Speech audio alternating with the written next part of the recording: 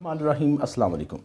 मैं हूँ ज़वरवान और आज मैं बात करूँगा कि हमारे यहाँ जब शब महराज आती है, शब बारात आती है या सताईस रमज़ान मुबारक की रात आती है तो बहुत सी मसाजिद में सलात तस्बी का अहतमाम किया जाता है। तो बहुत से कई बहुत से लोग ऐसे हैं जो कि इस पर एतराज़ करते हैं। सोशल मीडिया पर ऐसी वीडियोस मौजूद हैं, कुछ लोगों के फतवाजात हैं। वो ये कहते हैं कि फतवा देते हैं कि इस रात की इबादत करना कहीं से साबित नहीं है चूँकि अकल इस्लाम के दौर में उन्होंने सलात तस्बी जमात के साथ नहीं पढ़ी, कोई नफल नमाज़ नहीं पढ़ी इसी तरह खुलाफा राशिदीन के दौर की में नहीं पढ़ी गई।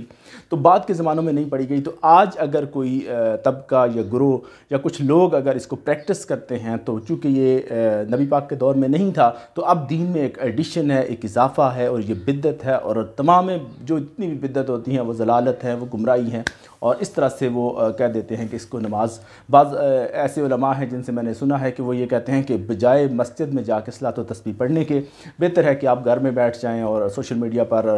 काम करें और केबल देखते रहें वो बेहतर है एक बिद्दत के, के मरतकब होने से। तो इससे बहुत से लोग हैं शकूक व शुबात में मुबतला हो जाते हैं जो मसाजिद में जा रहे होते हैं तो उन्हें मस्जिद जाते हुए सोशल मोबाइल पर एक मैसेज मिल जाता है तो वो मस्जिद में जाकर भी एक कन्फ्यूज़न का शिकार रहते हैं उस एक वसवसे में रहते हैं कि खुदा जाने हम कोई कहीं खुदा न खास्ता कोई किसी बिद्दत का इरतकब तो नहीं कर रहे। तो उस सिलसिले में बात करना चाहूँगा जो लोग ये इतराज़ करते हैं कि नफल नमाज़ जमात के साथ साबित नहीं है उनके उन्हें ये बताना चाहूँगा और आम लोगों को ये बताना चाहूँगा कि आकल इस्लाम ने नफल नमाज़ जमात के साथ खुद पढ़ाई है और ये बुखारी शरीफ की रवायत है और अदीस सही से साबित है। और इतनी ऊँची रवायत है कि हज़रत उतबान बिन मालिक रज़ी अल्लाह तु ये वो साहबी हैं जिन्होंने जंग बदर में शिरकत की थी और उसके बाद ये अंसारी साहबी हैं। ये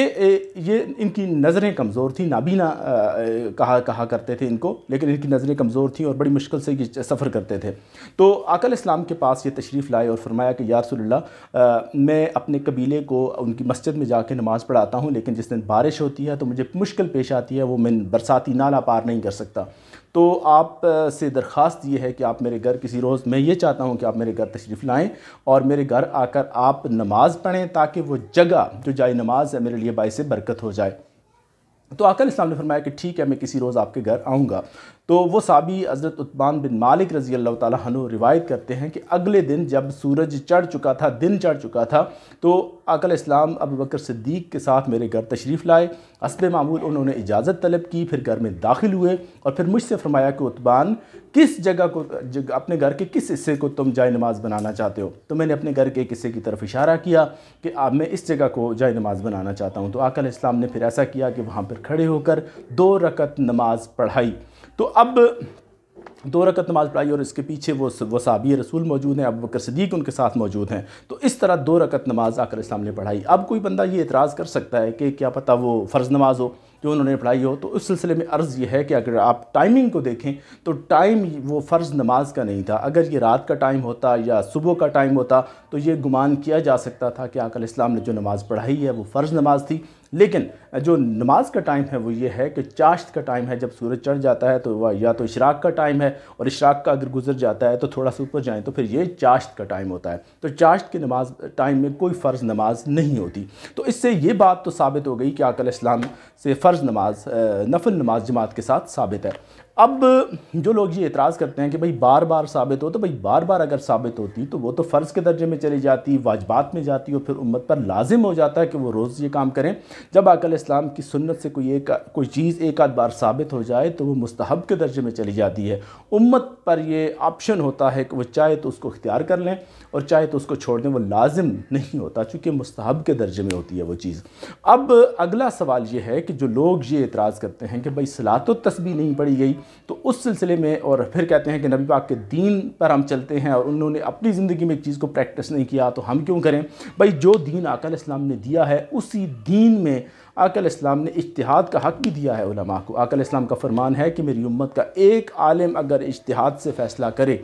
तो वो इश्तहाद अल्लाह के यहाँ भी मकबूल होता है। और एक रवायत में ये भी आता है कि अगर एक आलिम इश्तहादी ख़ता पर हो उसका इतिहाद ख़ता पर मबनी हो, फिर भी वो इतिहाद अल्लाह के यहाँ कबूल होता है। तो बात यह है कि अगर फिर कुछ और फ़ुकहा ने और मुहदसिन ने जो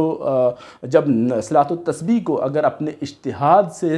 इसको जमात के साथ पढ़ना जायज़ समझा है और जायज़ करार दिया है तो अब किसी को ये हक़ हासिल नहीं है कि वो ये कहे कि जिन नबी पाक की सुन्नत से साबित नहीं है, जब आकर इस्लाम के हुक्म से इश्तहाद साबित है और को ये हक़ दे दिया गया है कि आप इश्तहाद से फ़ैसला कर सकते हैं तो अब ने अगर इश्तहाद से ये फ़ैसला कर दिया है तो फिर ये उलमा का इश्तहाद है और किसी शख्स को ये हक़ हासिल नहीं है कि वो इस तरह की बात करे और ये कहे कि नबी पाक की सुन्नत से साबित नहीं है। भाई, इसको, ये कोई फ़र्ज़ नहीं है, ये वाजबात में से नहीं है, ये सुन्नत समझ के इसको नहीं किया जा रहा, बल्कि ये एक मुस्तहब इबादत समझ के इसको किया जा रहा है और ये नफल के दर्जे में आता है। तो कोई चीज़, अगर कोई फ़र्ज़ करें कि कोई शख्स इसको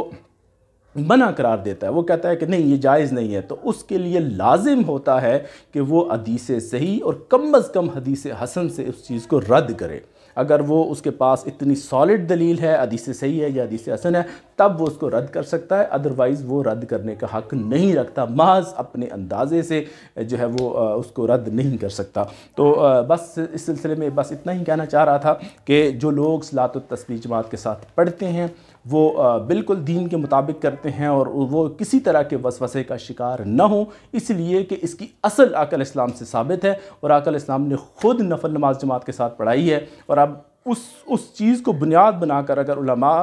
क्यास करते हैं सलात तस्बी को उस नफल नमाज़ के साथ कि भाई अकल इस्लाम ने चूँकि दो रकत नमाज़ नफल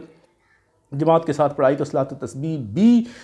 जो नफल नमाज़ है तो उसको हम पढ़ सकते हैं। इस तरह की मज़ीद वीडियो देखने के लिए मेरे साथ रहिए। बहुत शुक्रिया आप वीडियो वीडियो देखने का। अल्लाह ने के बाद